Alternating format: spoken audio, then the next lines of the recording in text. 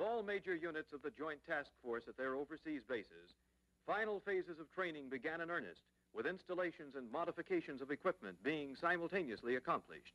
Final coordination of the tremendous organization had begun. To simulate the Test Able bombing mission, a practice bombing range was constructed on Erik Island. A coral strip was cleared, approximating the top side dimensions of the primary target. Four spotting towers were placed on the island for plotting the bomb drops by the transit method. These towers were manned by Los Alamos personnel. A radar detachment was established on Prayer Island, one and a half miles east, for the purpose of tracking the bomb carrying aircraft, communicating with the bombing commander, estimating bomb impacts, making weather reports, and obtaining high altitude wind data. Training was intense, not only for the air crews practicing bomb drops over Eric Island, but for all other airmen as they flew their assigned courses in the exact positions described by the air plan. Training was equally exacting for the many crews on ground stations and aboard ships, all essential cogs in the maneuvers. The Air Attack Unit carried out 23 missions in which practice bombs were dropped and six dress rehearsals for a total of 29 major training operations in which simulated atomic bombs were dropped. The average circular error was 537 feet, a remarkable record. Practiced bombing missions for Crossroads developed bombing techniques to a point that might not have been attained in several years of routine training.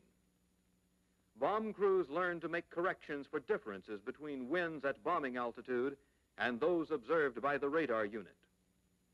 At Bikini, it was noted that winds at lower altitudes were sometimes at right angles to winds at the prospective bombing altitude. Conventional methods for ballistic wind corrections did not permit compensation for such a cross trail component. A method was found for estimating this deflection error and correcting for it. This proved one of the valuable results of the tests. Weather characteristics at Bikini resulted in a decision to move the orbit of the photoplanes into 12 mile slant range on Able Day, three miles closer than had originally been scheduled. Results bore out the wisdom of this decision. Photographs at the closer range showed better scale and improved definition.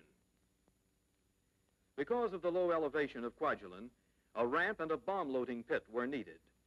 Seabees erected a ramp capable of supporting a B-29. This led to the pit. When the bomber was in position over the pit, powerful hoisting equipment was used for loading. Air Sea rescue units were given elaborate training and coordinated with the operational flight plan. These seaplane groups operated a shuttle service between Ebeye and Bikini and participated in reconnaissance.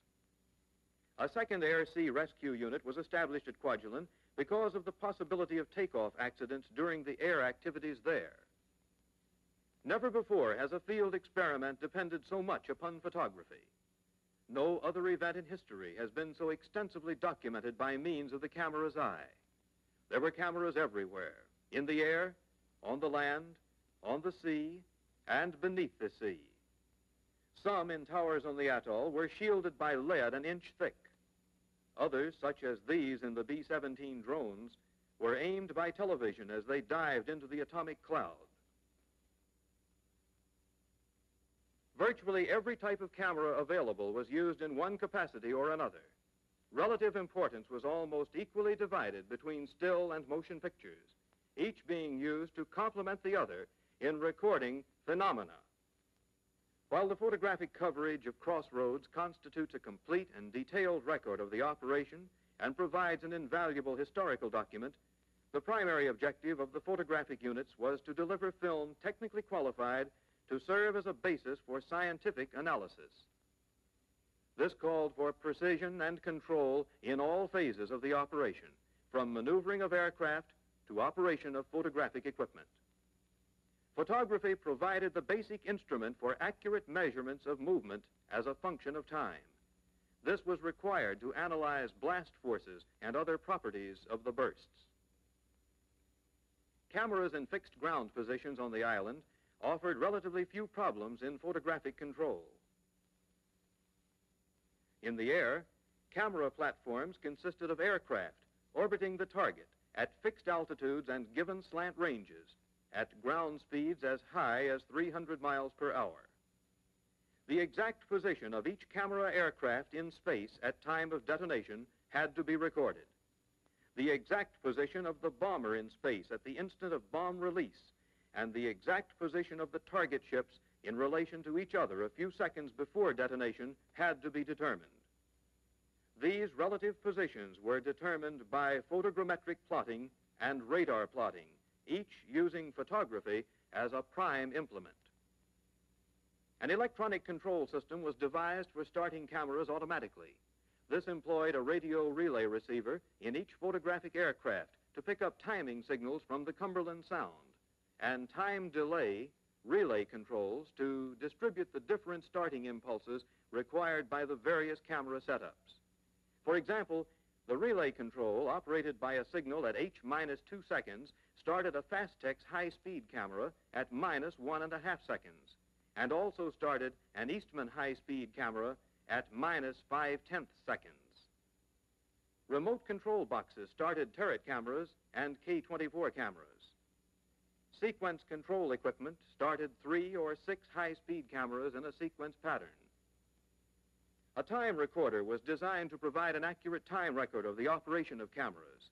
This consisted of a motion picture camera, which photographs 24 small indicator lights mounted on a panel around a precision clock. Ultra-high-speed motion picture cameras were operated at speeds as high as 2,000 frames per second. Some cameras had cylindrical lenses and moving strip films to record the intensity of the light from the explosions. Other cameras, moving great strips of film continuously, were called streak or blur cameras and interrupted light beam recorders.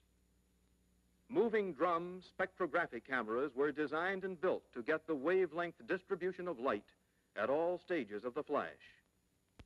Nine 75-foot steel towers were erected on three islands of the atoll, Bikini, Enu, and Aomen. These towers provided camera platforms on fixed axes and were equipped with electrical controls which could be triggered by gremlin timers. At other stations on Bikini and Enu, were some extraordinary photographic devices. These included instruments that could separate events one-tenth of a millionth of a second apart. The rate of shock wave expansion was to be measured by long focus, high-speed cameras coupled with light beacons dispersed within the target array to determine the properties of the shock wave as a function of distance. The rate of development of the ball of fire and the unfolding of temperatures were to be recorded spectrographically light intensity was to be followed photometrically in three colors. The bomb burst was the nearest parallel to the atmosphere of a star that man could produce. Yet, these measuring instruments were within five miles of the radiating surface. Information of interest to astrophysicists would have evolved from these instruments. All this information was to be recorded within a few milliseconds, and there would be but one opportunity. It was a misfortune that this opportunity was lost through failure of the timing signals. The automatic control for triggering the equipment was rendered useless by a premature start, and the change to manual control was not made in time to record initial phases of the burst. 19 Army Air Force planes and 17 naval aircraft provided a camera umbrella for the tests unlike any the world had ever seen. Eight F-13s and two C-54s were modified for the job. Each F-13 carried 38 cameras, and each C-54 carried 32 cameras. The B-17 drones were also equipped with automatic cameras. Navy aircraft assigned to photographic work included F-6Fs, TBFs, and PBMs. Automatically triggered cameras were placed aboard many of the target vessels, and cameras aimed from observer ships augmented this battery. New optical instruments, glare-reducing Icaroscopes, were used for the first time to photograph the early stages of the ball of fire. More than 1,500,000 feet of motion picture film were exposed during the operation, and the number of still pictures exceeded 1 million. Field laboratories were set up at the Army Air Base on Kwajalein and aboard the Sidor. Chief Processing and Assembly Point was the Naval Photographic Center in Washington, where new techniques were used for filing of the material. Commercial laboratories were also used for processing color film.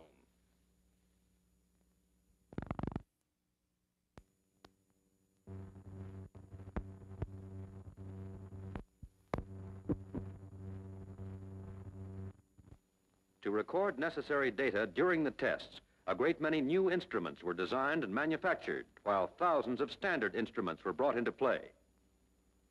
The manifold effects of the detonations required instruments to measure pressures and impulses, electromagnetic propagations, radioactivity, nuclear radiation, optical radiation, strains and stresses, winds, temperatures, waves, and many other local and remote phenomena.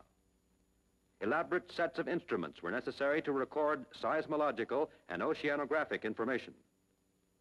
Pressures and impulses in the air and water, orientation of vessels with respect to zero point, shock wave velocities, and the amount, quality, and time variations of light were also among the data to be determined. Many of the instruments were complicated and highly classified. Some were known only as black boxes. Others were such simple objects as pipes, cans, and oil drums. Still others were ball crusher gauges, aluminum foil rupture gauges, wire strain gauges, and piezoelectric gauges. Readings from many instruments were broadcast by radio and immediately telemetered. Some of the unusual measurements included changes in terrestrial magnetism, atmospheric pressure and conductivity, and ionospheric reflectivity. For remote measurements, field groups were situated at 34 widely spaced stations throughout the world. These outlying stations were to determine to what extent the occurrence of an atomic bomb explosion can be detected at great distance, a vitally important measure of defense. Detection methods included sensitive recording of radioactive content of the air, seismological measurements, and measurements of various radio anomalies.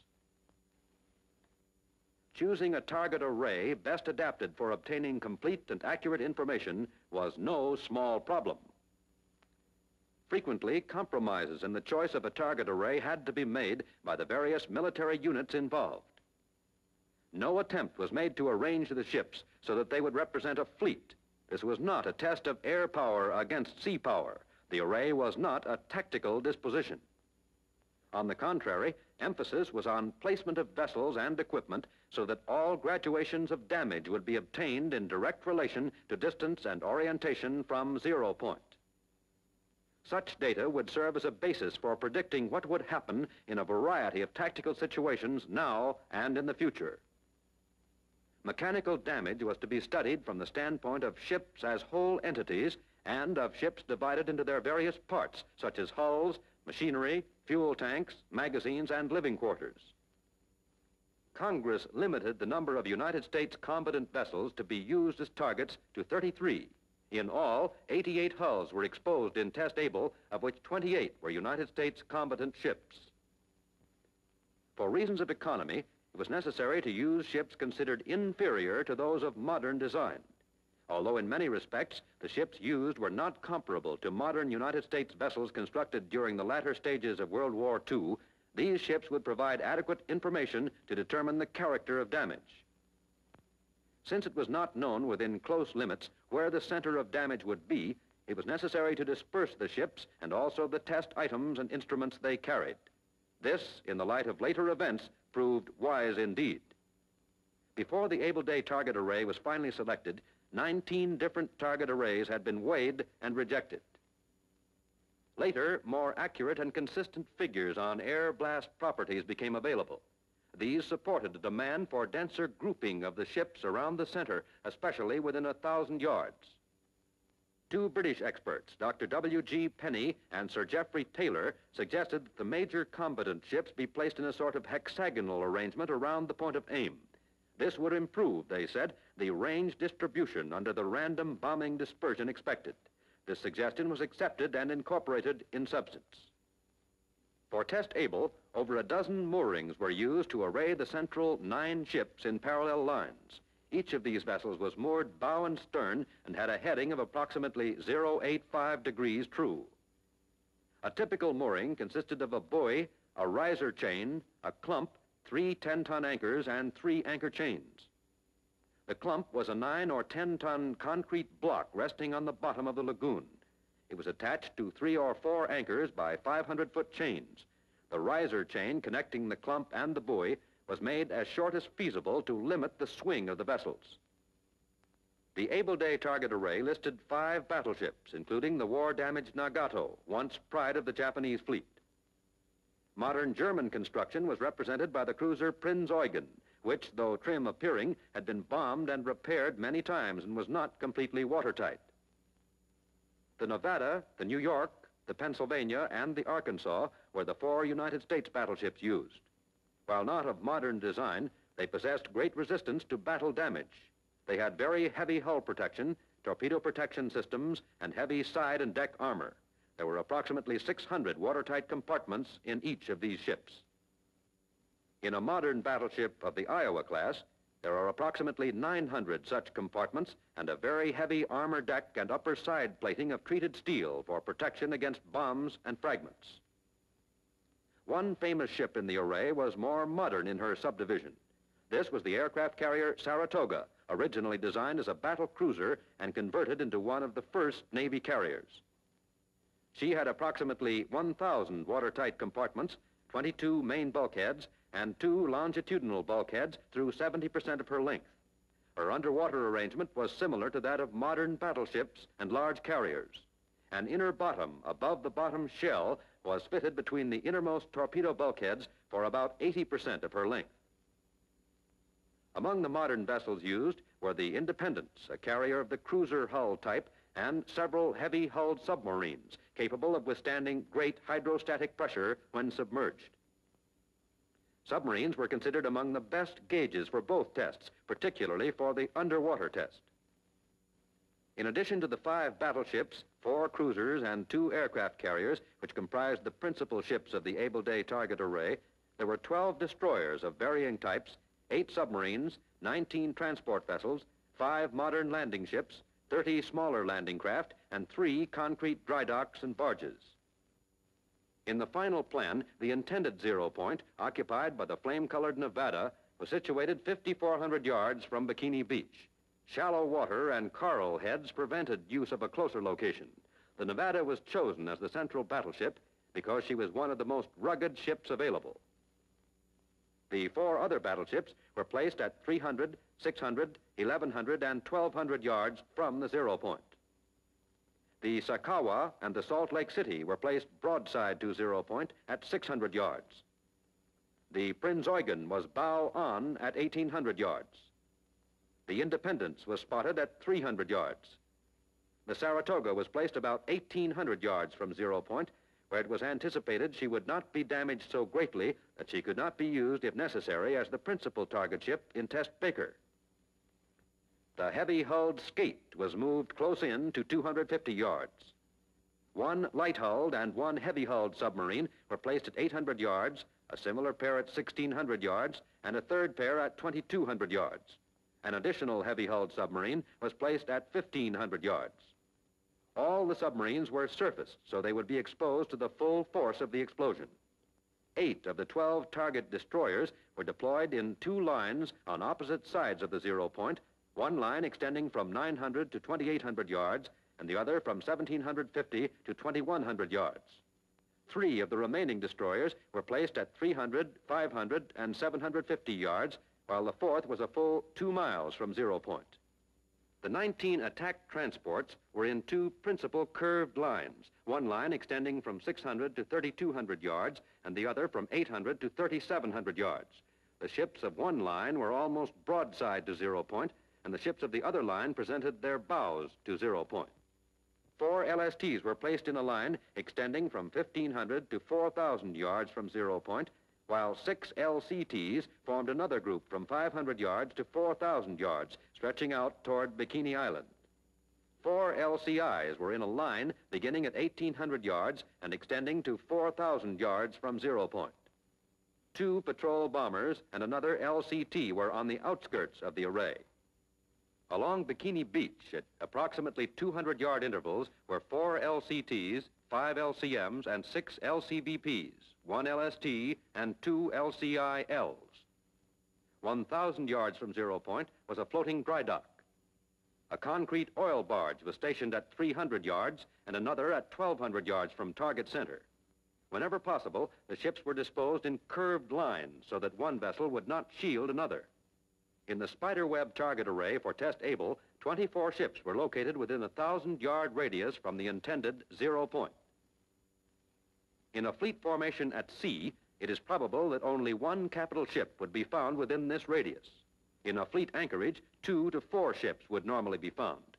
In a crowded harbor with ships alongside docks or moored, a dozen or more might be in such close proximity.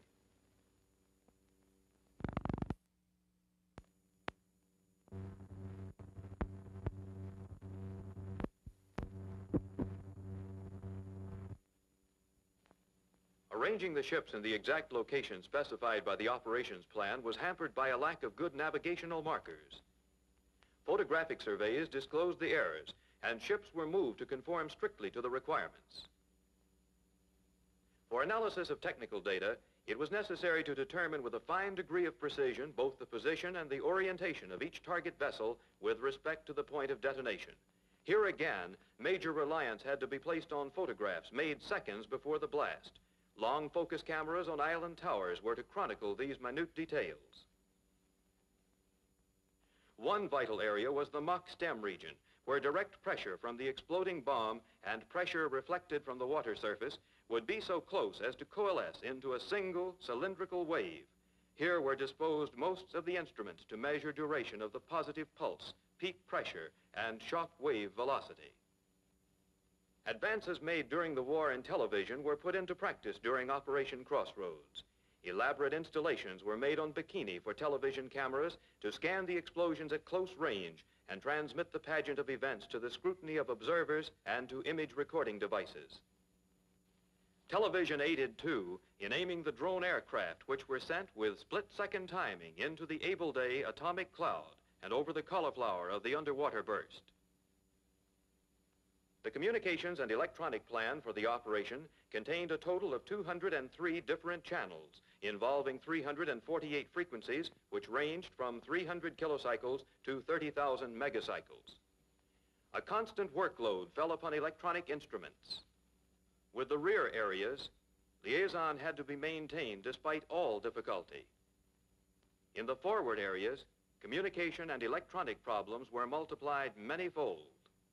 Electronic science was called upon to provide systems for observing and measuring technical effects from remote locations, to operate drone planes and boats and the telemetering devices which they carried, to furnish navigational aids for aircraft, to operate various triggering devices for starting cameras and instruments, to provide television coverage of the explosions and their associated phenomena, to determine the effects of the blast clouds on electromagnetic propagation, to carry descriptions by newsmen and broadcasters to a waiting world, to deliver with utmost speed more than 400 high-quality radio photos to newspapers and magazines at home. Besides these projects, the electronics program included determination of the effects of atomic explosions upon standard electronic apparatus. Radio propagation difficulties between Kwajalein and Bikini complicated communications problems. On the Mount McKinley, flagship of the task force, as many as six radio, teletype, and broadcast carriers were on the air simultaneously. The proximity of transmitting and receiving antennas produced acute interference problems. Added to these troubles were sunspot and skip distance effects. Radio teletype, a new factor aboard ships and aircraft, was used extensively. For the first time, news stories were filed by radio teletype from a plane in flight. Press wordage alone, transmitted in five languages by radio teletype, exceeded two and a half million words during the operation. The very high-frequency network functioned as easily as a dial telephone system, although plagued at intervals by interference and propagation troubles. Need for scrambler systems was soon established, particularly during voice discussions of highly classified topics. Communication studies were made and frequency shifts arranged. Exact tuning of transmitters alleviated but did not eliminate many interference problems. Volume of traffic was enormous. While the overall success was gratifying, completely satisfactory voice and teletype communications were never obtained on a day-to-day, 24-hour basis. Much of the communication traffic was with the Rear Echelon Organization, commanded by Rear Admiral Frank J. Lowry. During the absence of field units, the Rear Echelon had a multitude of tasks to perform in order to preserve a high degree of coordination. On Baker Day, electronic silence was strictly observed, lest stray signals interfere with the detonation of the bomb. Weather was a vital issue in both tests. Good weather, with a maximum of three-tenths cloud coverage and favorable winds, was obligatory. This placed heavy responsibilities on forecasters. Five months before the Able Day drop, the Air Weather Service began to gather data on weather conditions in the Bikini area. They soon had many answers, particularly on upper wind structures. One type of wind, designated the east-west type, was characterized by east winds at the surface and west winds aloft above 10,000 feet.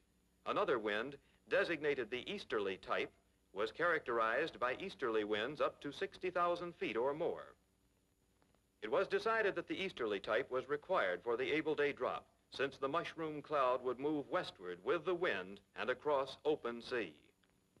Ships, aircraft, and shore-based units could thus be disposed to the windward sectors and many dangers of radioactive precipitation averted. Since required conditions would obtain only one day in four, meticulous care had to be exercised in setting a suitable day. Through use of upper air wind data, diagrams were made to appraise the rate and direction of cloud movement.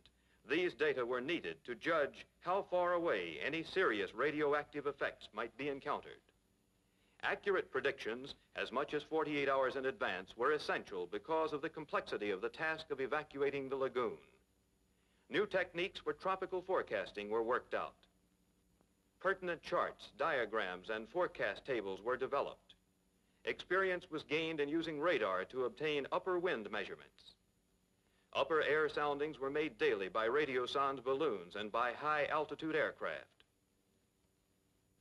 The mobility of weather aircraft permitted rapid assembly of weather reports equal to the output of a dense network of weather stations. In addition, they provided more detailed reports of cloud conditions than would be possible from surface stations. Aerial weather reporting was augmented by ships in the area. Added was a great mass of information from the regular network of weather stations.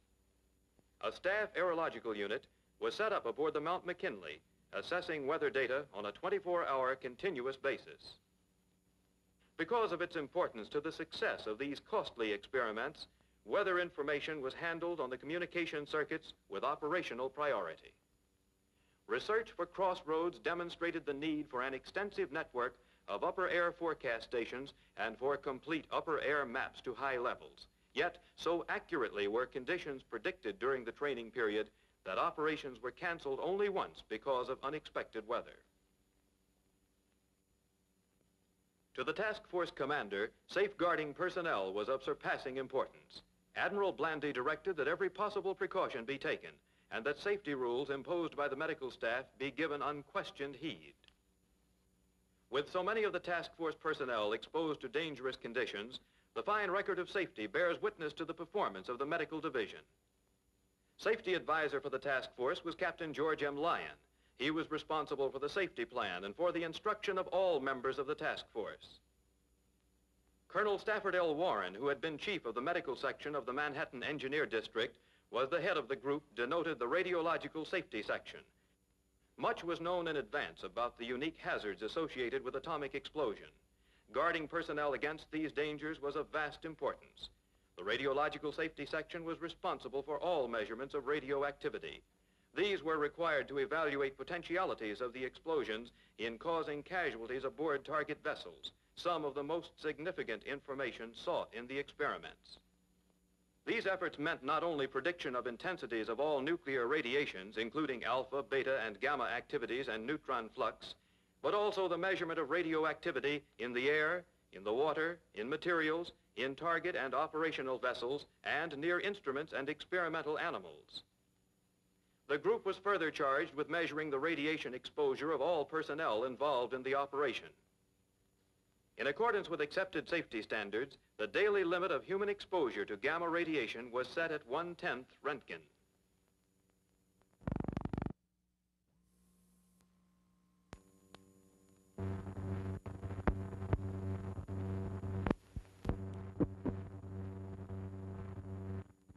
Under Captain R.H. Drager, the Naval Medical Research Section, which embraced a further complement of Army personnel and civilians, was responsible for exposing experimental animals, determining the kind and the extent of injuries, and investigating methods of diagnosis and treatment, principally of radiation illness.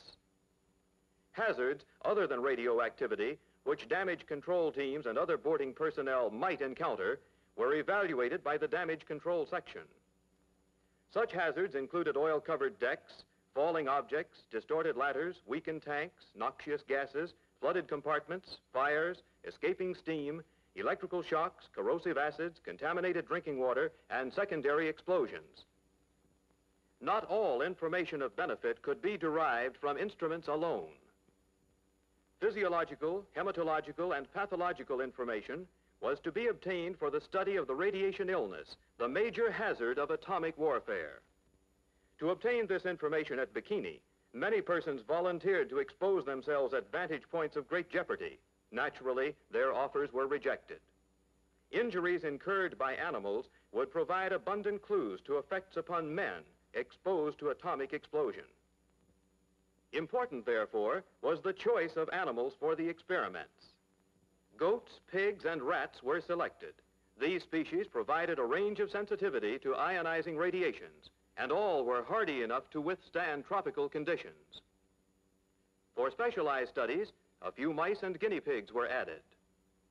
Goats were chosen because their relative radiosensitivity is roughly comparable to man's.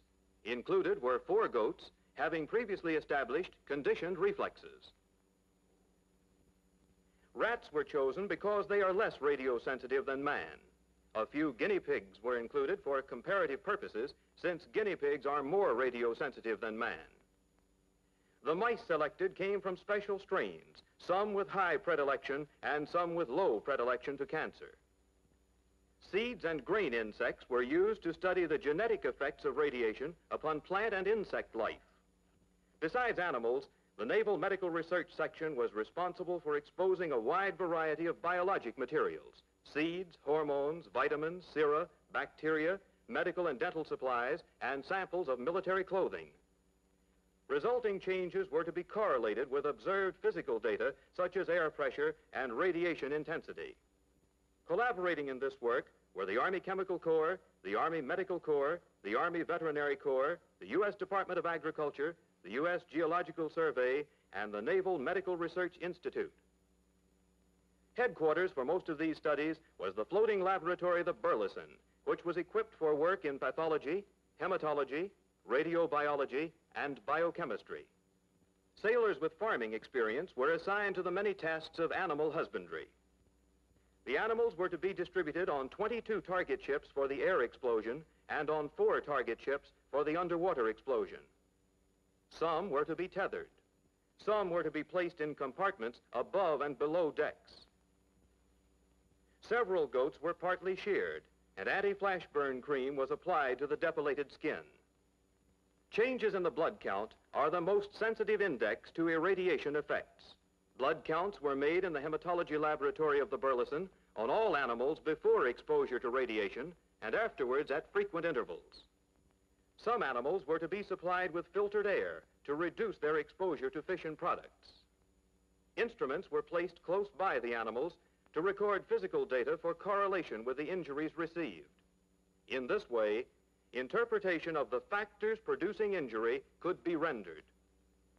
These data included intensity and duration of thermal radiation, air pressure, wind velocity, deck and bulkhead accelerations, and gamma ray and neutron intensities. Instruments brought into play were temperature recorders, ultraviolet recorders, gamma ray recorders, air pressure gauges, ionization chambers, Geiger counters, and Sony cameras for recording on film intensity and duration of the gamma ray radiation. Air purification equipment of the Army Chemical Corps was made available for testing. Collective protectors were used to filter air for certain groups of rats. Detailed records were kept of each animal.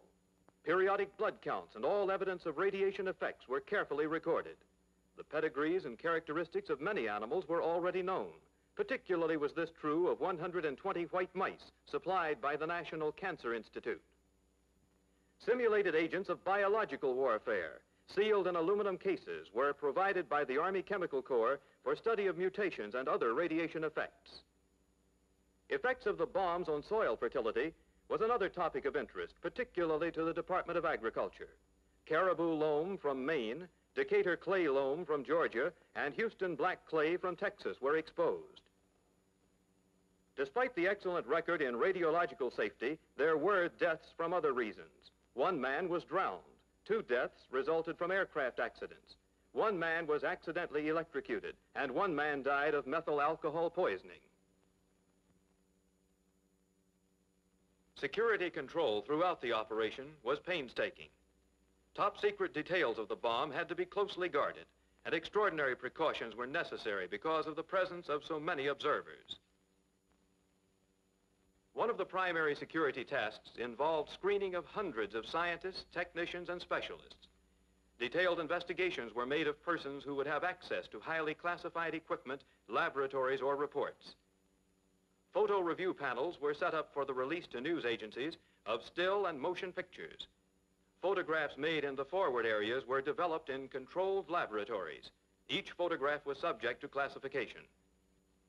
Credentials were examined to admit authorized persons only to restricted areas. Marine guards were assigned as sentries at the bomb assembly areas at Kwajalein, and Marines also guarded vital instrumentation areas at Bikini, Aomen, and Enyu. The Joint Chiefs of Staff after consulting the State Department, had determined that foreign observers would be invited to witness the tests, even though the operation was secret. The positions of these observers and their access to information were controlled. Each nation, with membership in the United Nations Atomic Energy Commission, was permitted to send two official observers and one newspaperman. In all, 34 official foreign observers witnessed both tests, plus 10 representatives of the foreign press.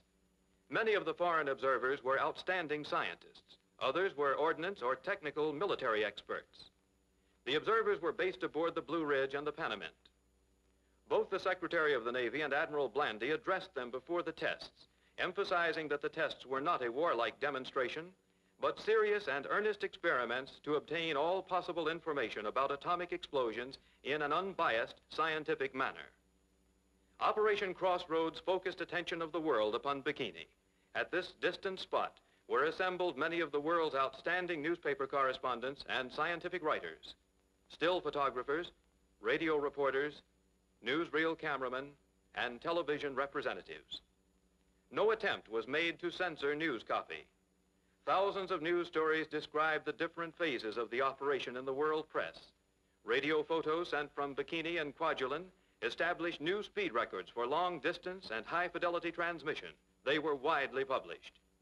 615 commercial radio broadcasts were made from the ships of the task force, primarily from the Mount McKinley and the Appalachian. In this way, the world was made acquainted with the objectives of the tests and with their planning and execution.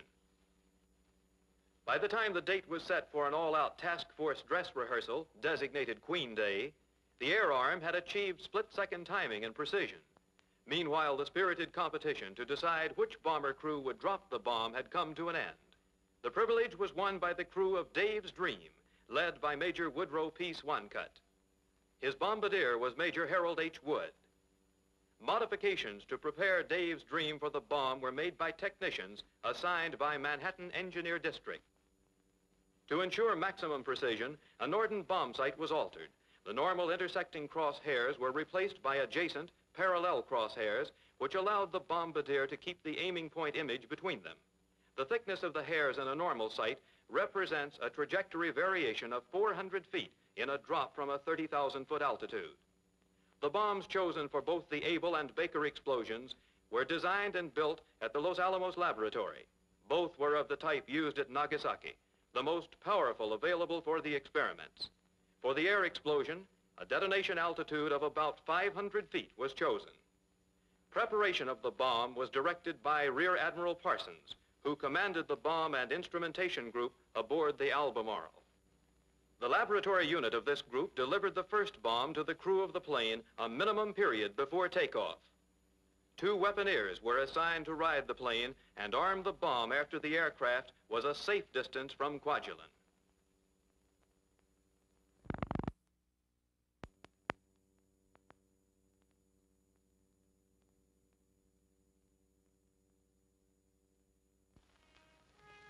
The Queen Day dress rehearsal was an operational success.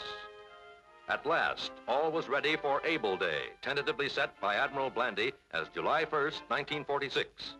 Throughout months of tedious preparation and preliminary tests and public discussion, tension had increased.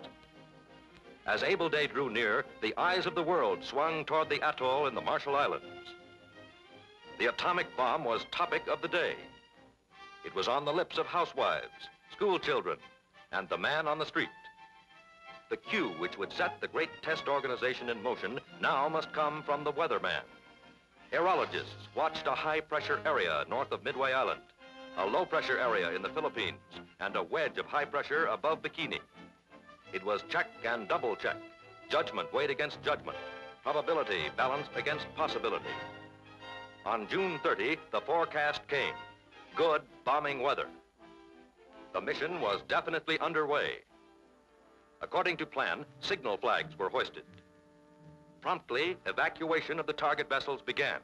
Shipboard rituals of orderly departure took on new meaning. After a round of salutes to captain and quarterdeck, the colors of each ship were struck. 90 support ships must move out of the lagoon in the allotted time. Slow-moving craft were the first to leave. Larger ships lumbered after them. Before dawn on Kwajalein, the command aircraft thundered down the runway, her engines shattering the tense silence of what had seemed an endless night. As watches told 0423, it was airborne. Aboard was Brigadier General T.S. Power, the air commander who would direct the air operation from his post aloft. Fast evacuation craft dashed through the target array, embarking the last-minute sentinels. Some of these men had made final adjustments on recording instruments. Others had battened down hatches and sealed the ships. When all details were completed, yoke flags were hoisted on the halyards.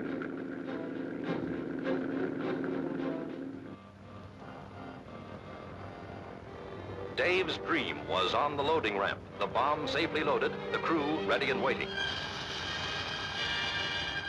From Admiral Blandy at 0542 came the final go-ahead. Three minutes later, the bomber taxied down the ramp toward takeoff position. Kwajalein had become alive. The roar of many engines contributed to the clamor. It was as if the envelope of night had given way to an envelope of sound, darkness giving way to dim. Dave's dream is roaring down the runway, engines singing.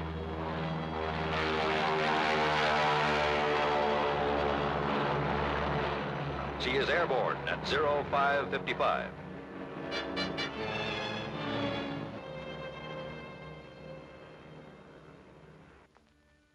Now, each minute counts.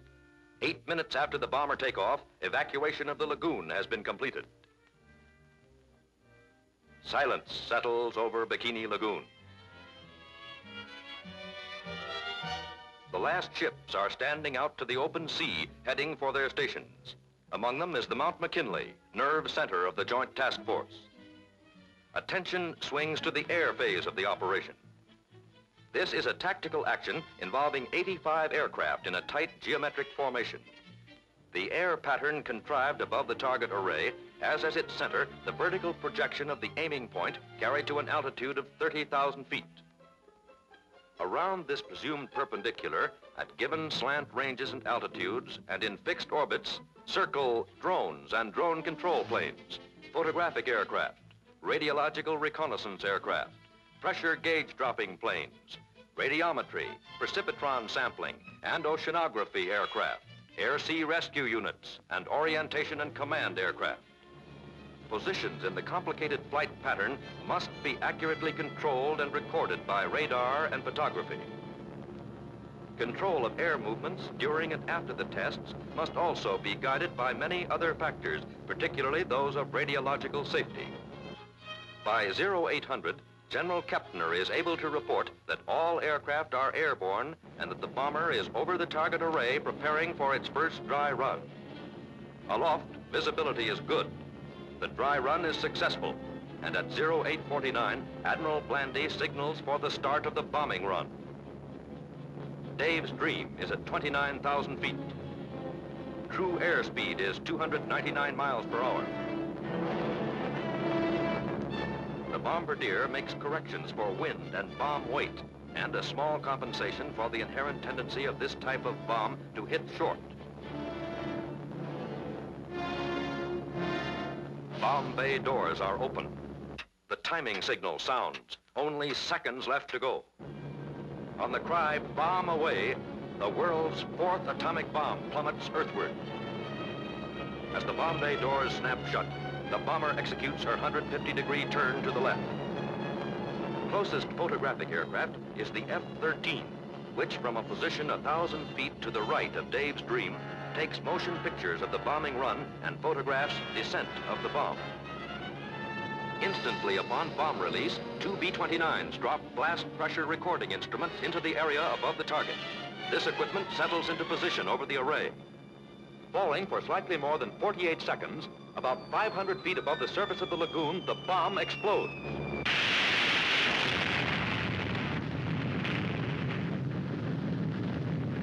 Unfolded are a myriad of majestic, startling, and awesome effects, a panoply that only the cameras can record in faithful detail.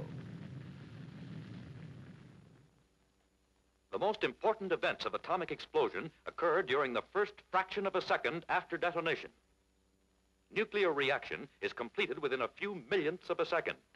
Then comes a brilliant flash of bluish light that overwhelms the vision of even distant observers and blanks out photographic lenses.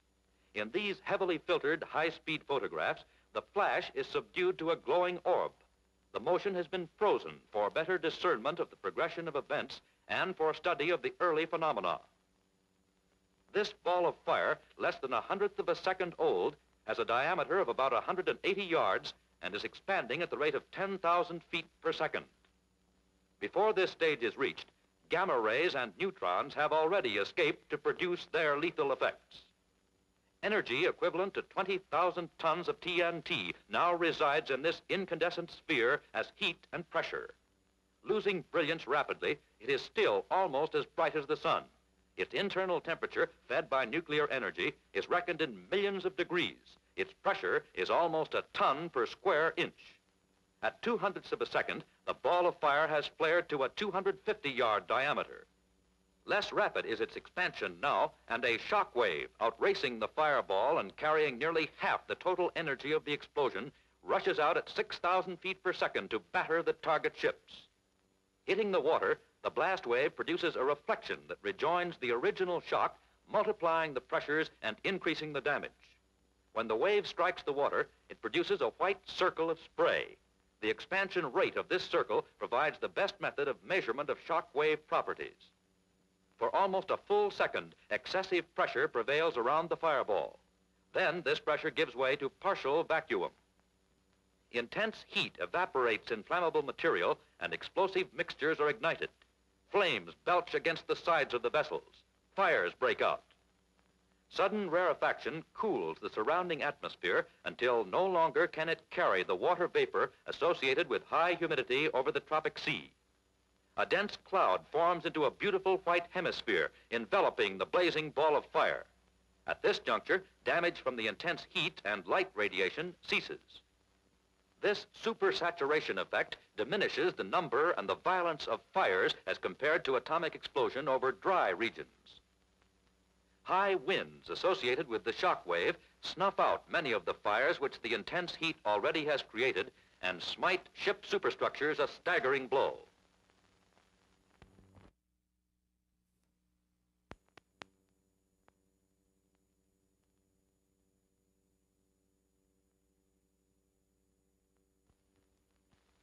As the cloud chamber begins to dissipate, five seconds after detonation, a ring cloud forms, soon to be evaporated. Within this emerging fireball, there yet remains a great store of energy. Turbulent and still glowing, it shoots up with an initial velocity of 150 feet per second, carrying off all but a fraction of the deadly fission products. As incandescence disappears, the mushroom cloud develops with powerful upthrusting surges which seem to regenerate themselves again and again, the mushroom cloud becomes a boiling mass of energy, filled with toxic gases, conflicting winds, twisting flames, and superheated air currents.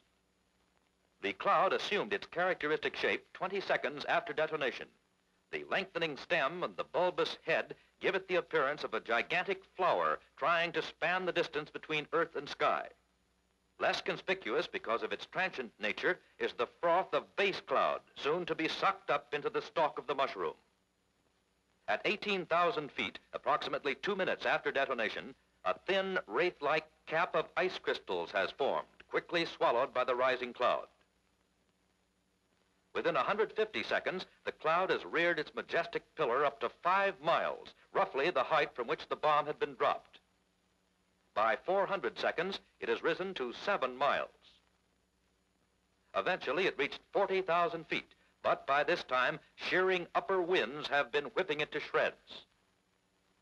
Drifting in the winds, the cloud stratified and lost its shape. Within an hour, observers at Bikini could see it no more. For many hours, reconnaissance aircraft tracked its wind-borne wandering. Later, from remote points, came reports that traces of increased radioactivity had been detected. On the way to the target array, nine minutes before detonation, one F-6F drone developed an inoperable aileron at 28,000 feet, spiraled out of control and crashed. With this exception, the flight plan of the drone fighters was carried out with notable success. Landing at Roi, the Navy drones brought back a wide variety of scientific data and samples.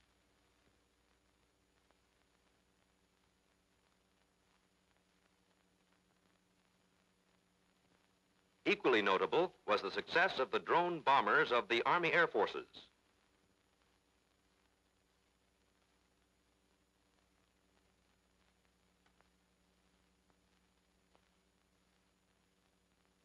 Every drone aircraft was recovered on completion of its mission and safely landed at Eniwetok.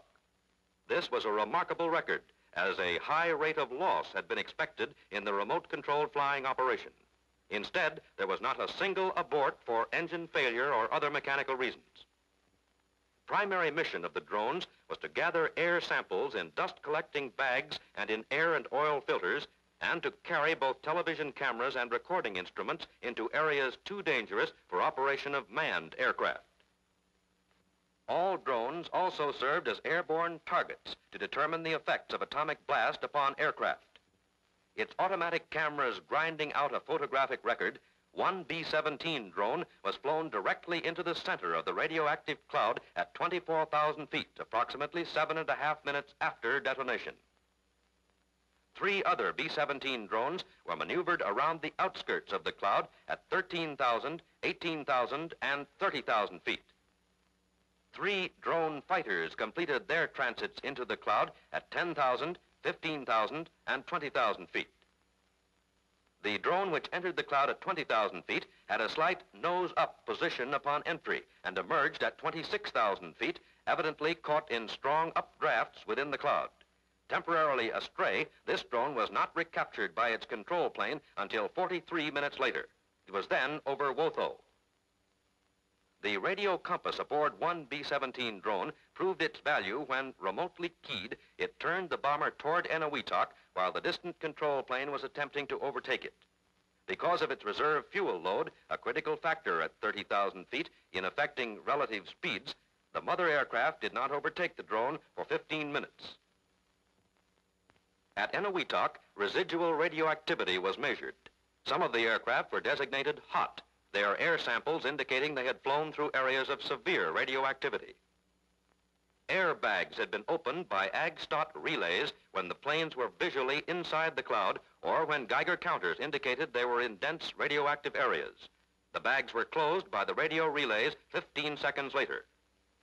Air filters allowed air to flow freely through filter paper forming deposits of radioactive material.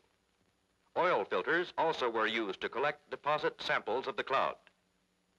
The strongest samples of radioactivity were obtained from aircraft which had flown through the cloud at higher altitudes. All drones carried flight analyzers which recorded normal accelerations, air speeds, pressures, and altitudes as functions of time. Because they were distant from the epicenter at detonation, the drones did not experience any marked acceleration from the shock wave. Air currents did produce mild accelerations of the drones at the threshold of the cloud pillar and within it. As far as engine performance is concerned, it was established that aircraft can operate close to atomic explosion. The drones carried a great variety of electronic equipment for testing. Results of electronic investigations were generally negative. So little electronic or mechanical interference or malfunction was recorded that it may be strongly assumed that radio-controlled drones or electronically controlled rocket missiles can be used successfully in areas close to an atomic explosion. Radioactivity had little effect on transmissions. A strange effect was produced upon the iconoscope of the television camera in the nose of the B-17 drone which entered the center of the cloud. The light intensity of the detonation was so great that a miniature image of the early blast was burned permanently on the screen. The iconoscope is being preserved at Wright Field. No radar reflections were obtained from the blast cloud in Test Able. Attenuation of signals which passed through the cloud was observed, the phenomena lasting as long as seven seconds at the higher radar frequencies. A few minutes after detonation, the Begor, jointly controlling the drone boats with the aid of aircraft, approached the lagoon for visual control. At the same time, four TBM planes were launched by the Saidor with conning officers and radiological safety monitors aboard. 44 minutes after detonation, the first drone boat, an LCVP, its stern trailing a cloud of smoke to identify it to the control planes, started toward the target array to collect water samples. Another followed a short interval later. Within four hours of detonation, these radio-controlled boats had collected a number of water samples which were immediately flown to Kwajalein for analysis. Other aircraft were performing important functions. A PBM equipped with special radiometry instruments to photograph and measure the heat radiation of the blast orbited the target array at 9,500 feet and 15 miles slant range. This equipment produced particularly valuable scientific data. Radiological reconnaissance aircraft and photographic aircraft continued their flights for a long period after detonation, being replaced periodically by relief aircraft. These crews acquired a steady flow of the data necessary to maintain an uninterrupted record. Three seaplanes carried equipment for photographing and measuring water waves resulting from the burst. The crew of one of these planes also actuated by radio the synchronized tower cameras on the islands. Close inspection of the damage wrought by the Able Day bomb awaited completion of safety precautions. Through binoculars, the distant watchers had seen a number of fires break out. They had strained to identify the ships involved. As the blast wave passed over the ships, observers had noted a black cloud above each vessel. Scientists believed that these clouds consisted of soot and dirt shaken loose by the blast and forced out of the stacks and boilers of the ships. Salvage units awaited the signal for re-entrance to the lagoon. These units were equipped with safety helmets, rescue breathing apparatus, mine appliances, and other instruments designed to detect and measure noxious and explosive gases. Five hours after detonation, after careful radiological survey by the safety groups, the word came from Admiral Blandy, re-enter. As units steamed into the lagoon, full import of the tremendous effect of the atomic bomb became immediately apparent. Spread over the oil-splotched lagoon, observers saw a vast array of smoking, soot-smudged vessels as if the remnants of a great naval conflict.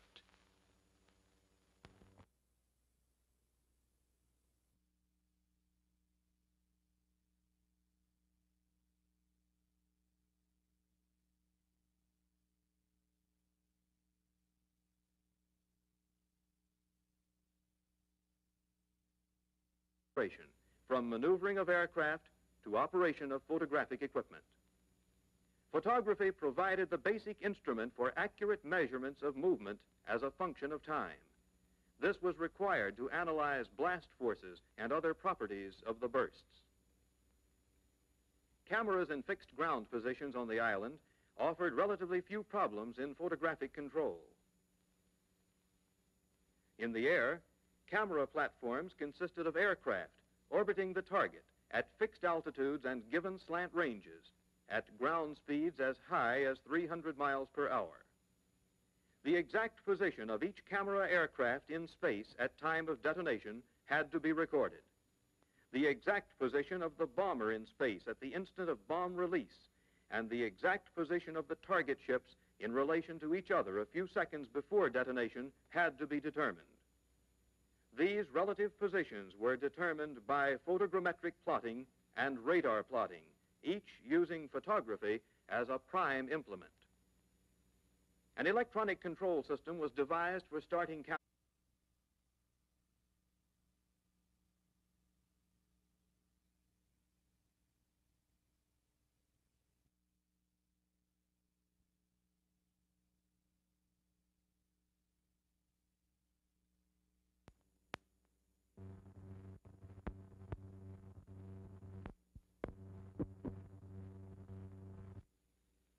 all major units of the Joint Task Force at their overseas bases, final phases of training began in earnest, with installations and modifications of equipment being simultaneously accomplished. Final coordination of the tremendous organization had begun. To simulate the Test Able bombing mission, a practice bombing range was constructed on Erik Island. A coral strip was cleared, approximating the top side dimensions of the primary target. Four spotting towers were placed on the island for plotting the bomb drops by the transit method. These towers were manned by Los Alamos personnel. A radar detachment was established on Prayar Island, one and a half miles east, for the purpose of tracking the bomb-carrying aircraft, communicating with the bombing commander during the air activities there. Never before has a field experiment depended so much upon photography. No other event in history has been so extensively documented by means of the camera's eye. There were cameras everywhere, in the air, on the land, on the sea, and beneath the sea. Some in towers on the atoll were shielded by lead an inch thick. Others, such as these in the B-17 drones, were aimed by television as they dived into the atomic cloud. Virtually every type of camera available was used in one capacity or another relative importance was almost equally divided between still and motion pictures, each being used to complement the other in recording phenomena. While the photographic coverage of Crossroads constitutes a complete and detailed record of the operation and provides an invaluable historical document, the primary objective of the photographic units was to deliver film technically qualified to serve as a basis for scientific analysis. This called for precision and control in all phases of the operation, estimating bomb impacts, making weather reports, and obtaining high-altitude wind data. Training was intense, not only for the air crews practicing bomb drops over Erik Island, but for all other airmen, as they flew their assigned courses in the exact positions described by the air plan. Training was equally exacting for the many crews on ground stations and aboard ships, all essential cogs in the maneuvers. The Air Attack Unit carried out 23 missions in which practice bombs were dropped and six dress rehearsals for a total of 29 major training operations in which simulated atomic bombs were dropped. The average circular error was 537 feet, a remarkable record. Practice bombing missions for Crossroads developed bombing techniques to a point that might not have been attained in several years of routine training bomb crews learned to make corrections for differences between winds at bombing altitude and those observed by the radar unit. At Bikini, it was noted that winds at lower altitudes were sometimes at right angles to winds at the prospective bombing altitude. Conventional methods for ballistic wind corrections did not permit compensation for such a cross-trail component. A method was found for estimating this deflection error and correcting for it. This proved one of the valuable results of the tests. Weather characteristics at Bikini resulted in a decision to move the orbit of the photoplanes into 12-mile slant range on Able Day, three miles closer than had originally been scheduled. Results bore out the wisdom of this decision. Photographs at the closer range showed better scale and improved definition. Because of the low elevation of Kwajalein, a ramp and a bomb loading pit were needed. Seabees erected a ramp capable of supporting a B-29. This led to the pit. When the bomber was in position over the pit, powerful hoisting equipment was used for loading. Air Sea rescue units were given elaborate training and coordinated with the operational flight plan. These seaplane groups operated a shuttle service between Ebeye and Bikini and participated in reconnaissance. A second Air Sea rescue unit was established at Kwajalein because of the possibility of takeoff accidents.